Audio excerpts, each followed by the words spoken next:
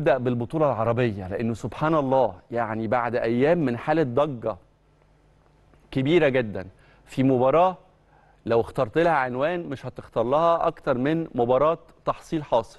الكلام على إيه؟ كلام على ماتش الأهلي وبيراميدز. ومش هرجع بحضراتكم للأحداث أنتوا عارفين إيه اللي حصل بعد المباراة وإزاي تطورت الأحداث وإزاي كان في قرارات من النادي الأهلي وإزاي كان في قرارات وعقوبات. يعني كل الفيلم اللي حضراتكم تابعتوه لكن ال ال ال اللي لفت نظري الحقيقة إنه بعدها بأيام أو قول بعدها بساعات بعدها بساعات. وأنا بتابع البطولة العربية من باب الفضول يعني من باب الفضول إن أنا أشوف مستوى الكرة العربية بشكل عام وصل فين ومستوى الأندية السعودية المشاركة في البطولة بعد الميركاتو العنيف اللي بتقوم بيه امبارح أو مش من كنت بكلمكم على فكرة أو على خبر انتقال ساديو ماني من بايرن ميونخ لنادي النصر. وامبارح اكدت لحضراتكم انه الصفقة بالفعل تمت والنهاردة تم الإعلان انه ساديو ماني تجاوز الاختبار الطبي أو الكشف الطبي وبالفعل بقى لاعب في صفوف النصر ومن الوارد إنه يشارك مع النصر في البطولة العربية ومباراة النصر اللي جاية مع نادي الزمالك اللي أنا في حلقة امبارح ابتديت وقلت بتمنى له التوفيق. وده طبيعي جدا. أي نادي مصري بيلعب في بطولة بيمثل فيها مصر ولا يشارك فيها النادي الأهلي فهو يمثل كل المصريين ويمثل الكرة المصرية. فمن الطبيعي إن أنا أتمنى لهم التوفيق حتى لو في حد زعل مني إن أنا بقول الكلام ده. لكن أنا اتربيت على ده وده العرف والأصول بالنسبة لي. إنه أي نادي مصري لا بيلعب في بطولة خارجية لا يمثل نفسه يمثل الكرة المصرية. يرفع علم مصر قبل ما يرفع شعار ناديه وبالتالي مفترض إنه يلقى الدعم والمساندة. لكن على هامش البطولة العربية بقى وبعيدا عن الكورة وخد بالك في فرق كبير جدا جدا جدا جدا وممكن أقول من من هنا لبكرة الصبح جدا وحط تحتها مليون خط أحمر. بين مباراة في الدوري المصري صحيح فيها فريق عنده جماهير كاسحة عنده جماهير بالملايين بتتفرج عليه وبيهمها تتابع مبارياته اللي مش مهمة قبل المباريات المهمة هي جماهير النادي الأهلي. وبين نادي بيراميدز اللي تقريبا تقريبا تقريبا بلغة الكورة يعني ما عندوش جمهور. مفيش جمهور بيقعد يتابع ماتشات بيراميدز.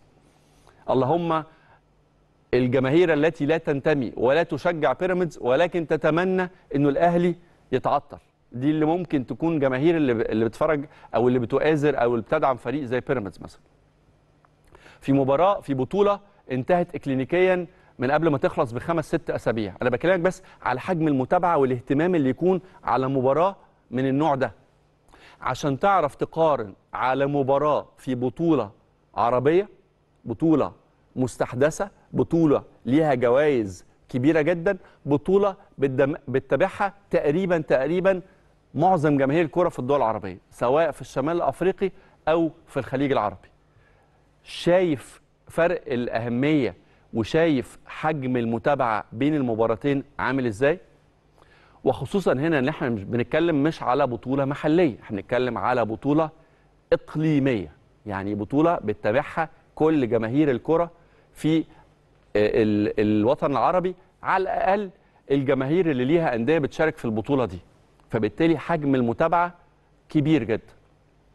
ولما نشوف الأحداث اللي حصلت امبارح في مباراة بره سيبك أنا ما بتكلمش كورة خالص. ما بتكلمش كورة خالص. وتشوف الأحداث اللي حصلت في مباراة الشباب والزمالك واللي تتخطى في جسامتها ما حدث في مباراة الأهلي وبيراميدز وتجد إنه أغلب ردود الأفعال هي حالة الصمت الرهيب حالة الصمت الشديد. يبقى لازم تحط مليون علامة استفهام.